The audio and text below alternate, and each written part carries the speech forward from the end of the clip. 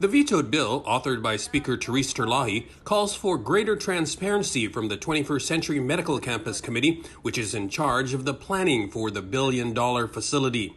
The measure requires that the committee adhere to the open government law and adds new members, including representatives from impacted municipalities, the legislature, the Guam Medical Society, and the Guam Medical Association. But in her veto message, the governor wrote that the bill was not about transparency, but about control by what she called obstructionist politicians. Speaker Terlaje agrees it is about control and transparency. She says the administration is mistaken if it thinks it can control a billion dollars of taxpayer money without any transparency. I'm hoping this was a fluke of a letter that was sent, and that we don't have to see this kind of government anymore.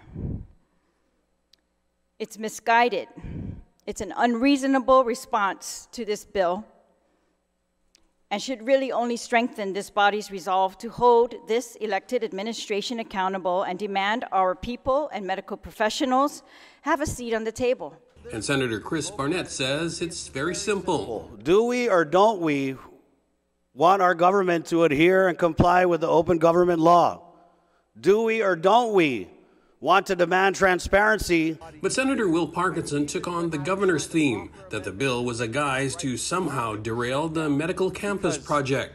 Our zeal by some members of this body to deny the governor a win is astounding.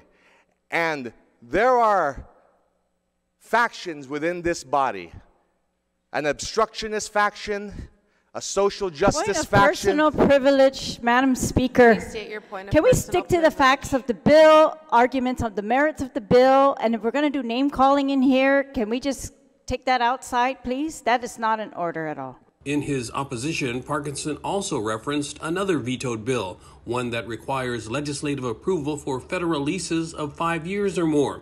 That measure would directly impact the ongoing lease for the medical campus land in Mangilao, which is for a term of 50 or more years. His motion to debate an override of the second bill was voted down.